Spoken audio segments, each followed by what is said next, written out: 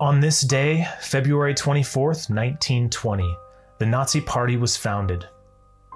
In the aftermath of World War I, in which Germany suffered defeat, the country was economically depressed and politically unstable.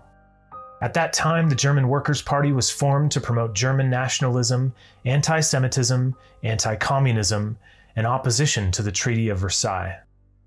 It was on this day, February 24, 1920, that a charismatic young leader named Adolf Hitler delivered a speech at the Hofbrauhaus outlining the 25 point program of the National Socialist German Workers' Party, otherwise known as the Nazi Party. The Nazi Party took power in the 1930s under the leadership of Hitler, and Germany transformed from a republic into a fascist state ruled by the Nazis. Nazi Germany then instigated World War II on the European front, which resulted in 15 to 20 million deaths, twice as many as in World War I. At least 6 million Jews died in concentration camps during the reign of the National Socialist German Workers' Party. The Nazi Party only existed for 25 years, but its legacy of death and destruction has been reverberating throughout the last century.